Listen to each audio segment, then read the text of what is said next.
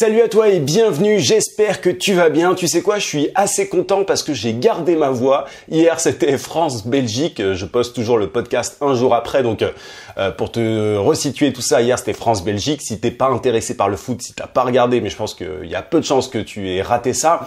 On a gagné, on est en finale, tout ça. Bref, j'ai fait la fête avec des amis et c'était la folie dans Paris. Il y avait une espèce d'ambiance de fou. Enfin, moi j'étais très très jeune en 98, donc euh, je me rappelle pas, mais euh, mais voilà, c'était c'est ouf parce que c'est vraiment, euh, je crois, le seul, euh, c'est vraiment le seul sport qui peut fédérer autant de monde. Enfin, c'est la seule chose qui peut fédérer autant de monde euh, en France, je crois. Et bref, c'était super plaisant de voir cette ambiance-là et, et, les gens heureux comme ça. Et alors, je récupère le truc un peu comme tout le monde le fait, mais je pense que tu vois dans cette équipe de France qui est très très jeune, qui est la deuxième euh, équipe euh, la plus jeune de cette Coupe du Monde, et cette euh, motivation qu'ils ont, enfin on peut faire un, un parallèle avec l'entrepreneuriat. C'est des mecs qui sont super motivés et qui malgré leur jeune âge vont super loin. Bref, je ferme la parenthèse, mais je pense qu'il y a pas mal de parallèles à faire par rapport à ça. Une histoire de motivation, peu importe la jeunesse, ils arrivent jusqu'au bout ou presque. On verra dimanche. J'espère que ça va le faire et j'espère que j'aurai encore de la voix pour le podcast la semaine prochaine. Si on gagne, bref, je m'avance pas. On verra ça. C'est pas du tout le sujet. Aujourd'hui, je voulais te parler de 10 choses qui t'empêchent de devenir indépendant ou indépendante.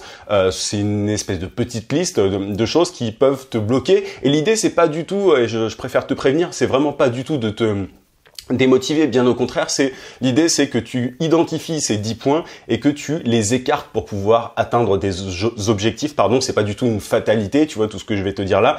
Ce sont des choses que tu peux régler et il s'agit d'abord d'être conscient de ces euh, 10 éléments, de ces 10 points et ensuite de les éliminer pour pouvoir atteindre tes objectifs tout simplement pour devenir indépendant. Euh, la première chose euh, qui peut t'empêcher de devenir indépendant, c'est le fait d'être envieux, jaloux euh, et de critiquer les autres. Je fais un petit euh, une petite parenthèse aussi, j'ai reçu un commentaire d'une personne hier sur ma chaîne YouTube qui me disait ah mais euh, t'as 7000 abonnés, t'as que 500 vues par vidéo en moyenne, il faudrait que tu arrêtes d'acheter des, des, abonnés ou que tu te poses des questions, etc.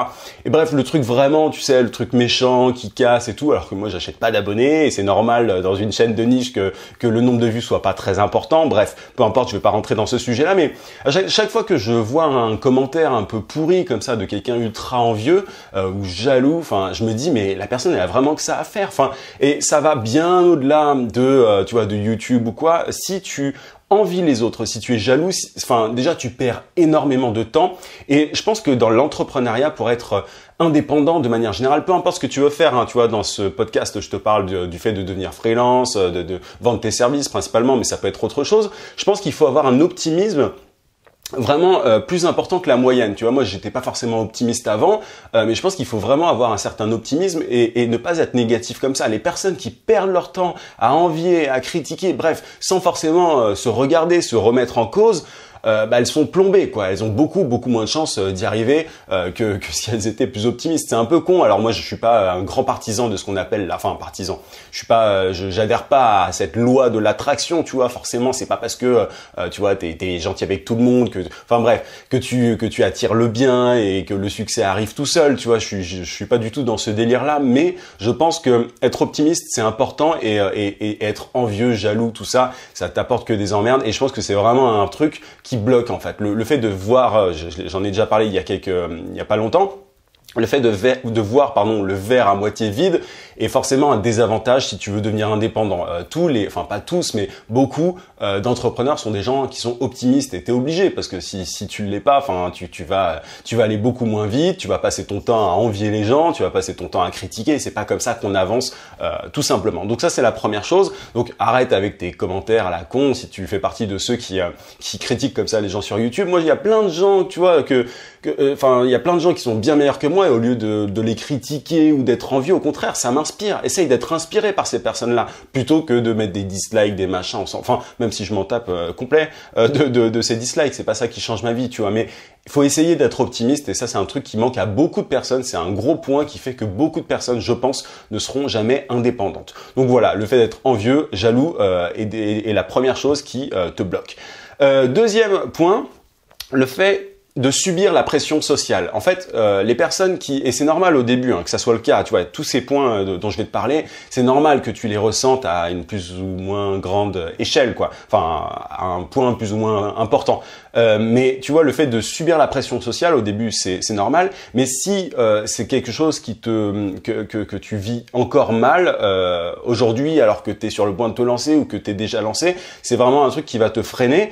Euh, c'est parce que ça va ça va te pousser à, à trouver des excuses, tu vois, pour euh, au lieu de, de te lancer dans tel domaine, au lieu de lancer un produit, au lieu de d'appeler un client, au lieu de contacter un client, tu vas trouver des excuses, tu vois, tu vas écouter ton père ou ta mère, tu vas écouter ta famille va dire ouais non ça c'est une mauvaise idée. Tu sais moi je pars d'un principe, c'est que euh, Ma famille, alors je les adore et tout ce que tu veux, mais ma famille ne peut pas avoir raison sur l'entrepreneuriat. Elle peut évidemment, alors tu vois, je ferme pas mes oreilles, euh, mais elle peut pas avoir raison sur l'entrepreneuriat parce que j'ai pas d'entrepreneur qui me, euh, dans ma famille, il me semble en tout cas.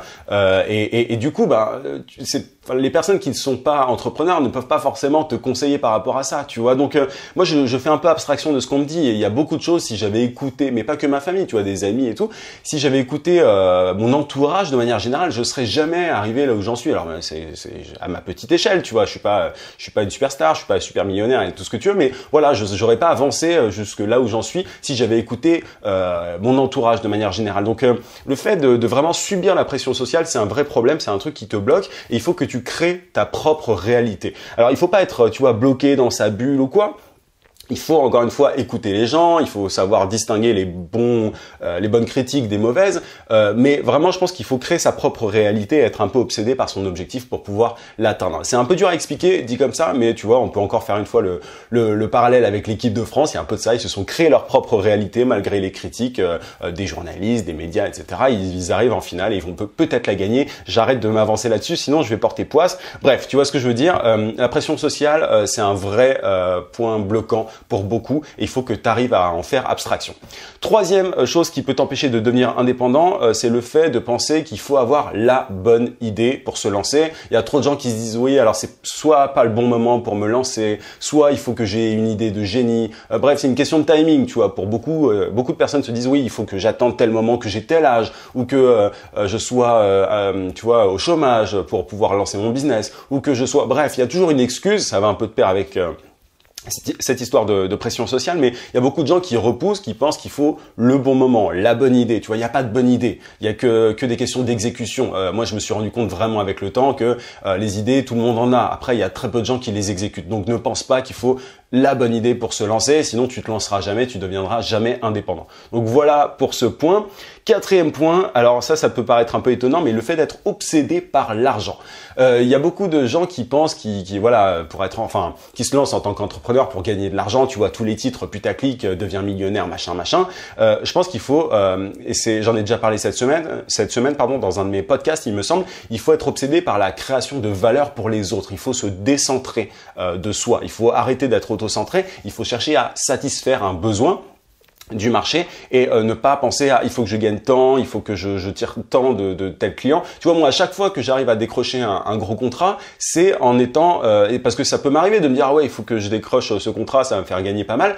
Mais, mais à chaque fois que j'y arrive, que je décroche, décroche de bons gros contrats, bah, c'est quand je ne suis pas obsédé par ça. C'est le moment où je me dis, bon, ce serait vraiment cool de travailler avec eux parce que je peux les aider. Tu vois, il faut faire cette espèce de shift mental et ça te sera bien plus euh, profitable à terme que d'être obsédé par la D'ailleurs, si tu es obsédé par l'argent, tu peux aussi euh, te dire, ah, il faut absolument que... Enfin, tu vas te bloquer par... Tu vas te mettre des plafonds, tu vois. Tu vas te dire, ah ouais, mais alors euh, la personne, elle me propose ça, il faut que j'accepte, sinon j'aurais... Euh, elle acceptera pas si je demande plus. Enfin, tu vois, il faut arrêter de d'être obsédé par ça. Je sais que c'est plus facile à dire qu'à faire, mais... Et tu peux te créer... Enfin, tu peux te créer des leviers au fur et à mesure qui font que tu vas être un petit peu détaché de de, l'argent et c'est ce qui va te permettre d'avancer. C'est en général, en général, pardon, en n'ayant pas besoin d'argent qu'on arrive à en gagner plus. C'est un peu particulier comme notion. Je pense que j'en parlerai plus tard dans un, dans un podcast. Mais euh, voilà, le fait d'être obsédé par l'argent, c'est un truc qui te bloque, euh, tout simplement. Enfin, en tout cas, c'est mon avis.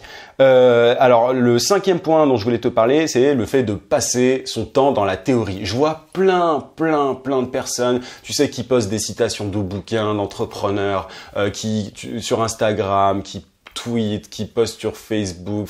Tu vois, tu as plein de wannabe entrepreneurs, euh, si je peux me permettre le terme, tu vois, de, de gens qui, qui se prétendent presque entrepreneurs alors qu'ils sont jamais passés à l'action. Ils restent dans la théorie et ils exécutent pas. C'est toujours une question d'exécution, encore une fois. Mais tu vois, le fait d'être, euh, tu vois, de rester dans la théorie et de ne pas agir, euh, bah c'est forcément un, truc qui va t'empêcher de devenir indépendant. Je pense qu'on peut passer énormément de temps dans la théorie et ça va un petit peu de, pair avec euh, avec mon point numéro 3. Euh, tu vois, il n'y a pas de bon moment, de bon timing. Il n'y a pas de, c'est pas, enfin tu vois, il y a plein de gens qui se disent voilà, je vais me former, former, former, et comme ça, le jour où je serai prêt, ben j'y arriverai. Enfin, je, je, ce, sera plus facile. Bah c'est pas le cas agis d'abord. Tu vois, moi, je continue de me former. Tout à l'heure, j'ai acheté, je sais plus quel bouquin encore, un audiobook. Euh, bref, peu importe. Et, euh, et, donc, je continue de me former, mais j'agis constamment. Il faut agir et se former en même temps. Il faut être dans la théorie et la pratique en même temps. Mais tu vois, ne fais pas théorie puis pratique. Ne sépare, pas les deux, pardon. Je parle trop vite, donc j'arrive plus à parler. Euh, mais voilà, donc euh, lire des bouquins, tout ça, c'est bien, mais il faut derrière appliquer ce que tu apprends tout simplement. Sixième point dont je voulais te parler, le fait de ne pas être créatif. Alors, tu vois, on n'est pas tous nés créatifs. Je pense vraiment que la créativité, c'est quelque chose qui s'apprend, c'est une gymnastique. Moi, je l'ai appris en agence de publicité. Le fait d'être créatif publicitaire m'a beaucoup aidé à développer ma créativité. Mais le fait de ne pas être du tout créatif est un vrai euh, frein, en fait, pour devenir indépendant. Tu es obligé d'avoir une part de créativité. Tu vois, moi, le, service que je propose aujourd'hui, j'ai élaboré toute une méthode sur LinkedIn pour pouvoir générer des prospects, etc. C'est ça que je propose et euh, je pense que la méthode que j'ai élaborée aujourd'hui, je suis peut-être un des seuls à, la proposer, tu vois. Donc j'ai été créatif par rapport à ça. Pareil pour créer du contenu, tu vois. Un autre exemple là pour euh, cette euh, cette vidéo ou ce podcast que tu regardes ou écoutes. Aujourd'hui, bah je me suis creusé les méninges pour trouver le sujet du jour. Tu vois ce que je veux dire Mais donc j'ai dû réfléchir, j'ai dû imaginer un titre de vidéo, j'ai dû, euh, enfin bref, tu vois ce que je veux dire. Il faut aujourd'hui, pour être entrepreneur, pour devenir indépendant, il faut absolument être créatif. Et je vois beaucoup de pompeurs, j'en ai parlé il y a quelques jours, mais même des gens qui me qui me copie, c'est pas grave, il n'y a pas de problème et ça ne suffit pas, tu vois. Tu peux pomper au début, mais si t'es pas créatif par la suite, t'es foutu, quoi. Enfin, t'y arriveras pas, tout simplement. Donc, euh, il faut développer, je pense, sa créativité pour pouvoir devenir indépendant. Ça passe par tout un tas de, enfin, simplement se forcer déjà, tu vois, à créer du contenu, à trouver des idées. Tout à l'heure, vraiment, en toute honnêteté, euh, j'étais, euh, je suis éclaté aujourd'hui parce que j'ai, bah, à cause d'hier, parce que j'ai fait la fête et je me suis dit bon bah, enfin, je me laisse pas le choix en fait. Il faut que je crée une vidéo aujourd'hui et du coup, bah, je trouve des idées comme ça. Tu dois pas te laisser le choix. Et c'est comme ça qu'on, il faut se forcer en fait. Et c'est comme ça qu'on devient créatif, qu'on trouve des idées. Il faut pas se laisser le choix. Bref, donc sois créatif et c'est comme ça que tu, enfin c'est un des éléments clés pour devenir indépendant, je pense. Et une personne qui n'est pas créative, qui n'est que du côté de l'exécution, euh, enfin il lui manquera forcément quelque chose. Et inversement, quelqu'un qui est que créatif et qui n'est pas exécutant, qui est que dans la théorie, ben euh, n'y arrivera pas non plus. Donc c'est vraiment un juste milieu entre théorie et exécution, entre créativité et, euh, et pragmatisme. Enfin, tu vois ce que je veux dire? C'est, c'est, mais c'est ce, ce, sweet spot, comme diraient les Américains, qui est intéressant et qui fait que tu peux devenir indépendant, que tu peux atteindre tes objectifs. Euh, septième point, euh, c'est le fait de ne pas écouter. Tu vois, moi, quand hier j'ai eu deux rendez-vous euh, clients, je passe la plupart de mon temps à écouter mes clients, à écouter leurs problèmes. Et souvent, tu vois, on a l'image, et j'en parle assez régulièrement, du vendeur qui pitch son truc à fond, qui n'écoute pas, qui, qui blablate pendant une heure avec un client. C'est vraiment tout l'inverse qu'il faut faire. Il faut écouter. Tu dois encore une fois te décentrer. Il faut, il ne faut pas être auto-centré. Tu dois te décentrer. Tu dois mettre ton focus. Tu, dois mettre vraiment les spotlights sur tes clients. Et c'est comme ça que tu réussiras à vendre tes services, à vendre ce que tu as à vendre de manière générale et que tu deviendras indépendant. Donc ça, donc ça c'est vraiment important. Huitième point, il y en a beaucoup, hein, mais je vais un peu vite, sinon la, la, la, vidéo, le podcast vont durer très très longtemps. Euh, le fait d'être perfectionniste, euh, ça va un peu de pair avec le fait d'atteindre le bon timing, mais euh, je vois beaucoup de gens qui sont perfectionnistes et qui se disent oui, alors là, il faut que j'améliore ça, il faut que j'améliore mon produit avant de le lancer. Euh, tu vois, dans le marketing digital des startups, le growth hacking, en général, on dit il faut que tu lances d'abord ton produit sur le marché pour pouvoir voir la, comment ça se passe, en fait, en fait quel est l'écho du marché, comment euh, comment ça résonne en fait auprès de tes client potentiel euh, et, et, ensuite tu améliores les choses. Mais il euh, n'y a pas de, il a jamais de bon moment encore une fois. Et, euh, et le fait d'être perfectionniste, je pense que c'est un très très gros défaut pour un entrepreneur. Et il me semble qu'il y a quand même très peu d'entrepreneurs qui sont perfectionnistes. Alors évidemment, ça veut pas dire qu'on fait de la merde et qu'il s'agit d'agir pour agir. il faut, tu vois, mais il faut agir et améliorer après. C'est un petit peu ce jeu-là qu'il faut comprendre au fur et à mesure. Moi, tu vois, j'améliore constamment ma chaîne, mes vidéos. Tu vois, je travaille beaucoup plus mes vidéos qu'auparavant. Pourtant, je je me suis pas empêché de faire des vidéos pour autant euh, avant, tu vois. Pareil pour mes services, je me suis, j'ai pas attendu d'être expert dans mon domaine avant de vendre mes services. C'est comme ça qu'il faut que tu vois les choses. Tu peux te perfectionner vraiment en faisant les choses. Euh, Neuvième point, euh, le fait d'être euh, euh, victime du syndrome du nouveau jouet. Tu sais, c'est le podcast, c'est un des podcasts que j'ai fait la semaine dernière. Le fait de passer d'opportunité en opportunité. Ah bah tiens, il y a le dropshipping qui marche bien. Ah bah tiens, je vais être consultant. Ah bah tiens, je vais lancer un blog. Ah, bah, bref, tu vois le, le, délire. Il y a plein de gens comme ça qui pensent que, en fait, ce qui leur manque, c'est la bonne opportunité, que c'est une question vraiment de presque encore de, timing en fait. Il faut ah bah c'est ce truc qu'il faut faire maintenant pour devenir indépendant. Ah maintenant ça a changé, il faut faire ça. Et si tu sautes d'opportunité en opportunité, tu vas jamais euh, euh, te concentrer euh, assez longtemps pour pouvoir faire, pour pouvoir développer ton business quoi. Donc mauvaise idée, c'est pas du tout l'état d'esprit à avoir. Il faut, tu vois, je, je parlais du fait tout à l'heure que faut pas être perfectionniste. Euh, bah, il faut, il faut vraiment euh, se concentrer. Enfin, tu vois, c'est vraiment un juste milieu. C'est pour ça il y a des trucs qui peuvent sembler contradictoires dans ce que je te dis, mais euh, il faut que tu choisisses un truc, que tu agisses et que tu euh, que tu perfectionnes au fur et à mesure ce truc-là. Mais euh, tu vois, le dropshipping, si tu as décidé de te lancer en dropshipping, fais ça et pendant un certain temps et tu abandonneras ce projet peut-être plus tard. Mais euh, déjà, concentre Concentre-toi vraiment là-dessus avant d'abandonner. Tu vois, ne passe pas de truc en truc.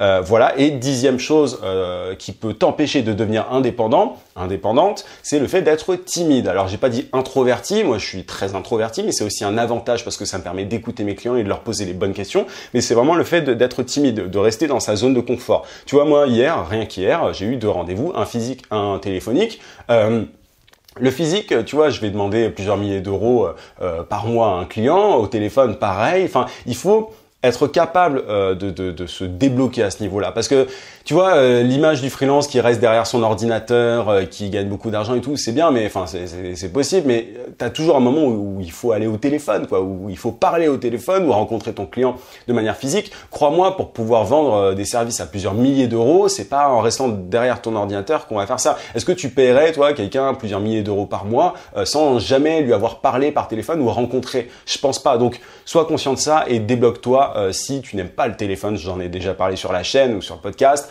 euh, débloque-toi à ce niveau-là. Et si t'es pas à l'aise en entretien aussi, il faut que tu le travailles. Il faut vraiment que tu travailles ça. C'est pour ça que que moi je me forme à ce, à ce niveau-là aussi, qu'aujourd'hui je suis très très à l'aise, alors qu'avant je flippais du téléphone, des, des, entretiens. Et j'ai toujours un petit peu, tu vois, ce stress avant mon rendez-vous. Je me rappelle hier, j'étais un peu, bon, c'est un gros, un gros client, ce serait cool que je, je le décroche. Donc j'avais un petit stress, mais c'est normal et c'est sain. Mais il faut que tu te fasses violence et que tu acceptes euh, d'aller, euh, voilà, d'aller parler à cette, à ce client, parce que c'est en parlant à ce client que tu vas réussir à, voilà, à vendre tes services, à, à gagner ta vie. Donc euh, il y a un moment, il faut que tu te débloques et ça veut pas dire, encore une fois, être extraverti. Tu peux tota-, totalement être euh, introverti et pas timide. Ça, je, pense que j'en parlerai plus tard, euh, plus en détail, mais c'est important. Et j'ai beaucoup de gens qui me font souvent le commentaire, euh, enfin voilà, qui me, le disent souvent en commentaire sur YouTube. Oui, mais c'est pas pareil, timide, introverti, et c'est tout, à fait vrai.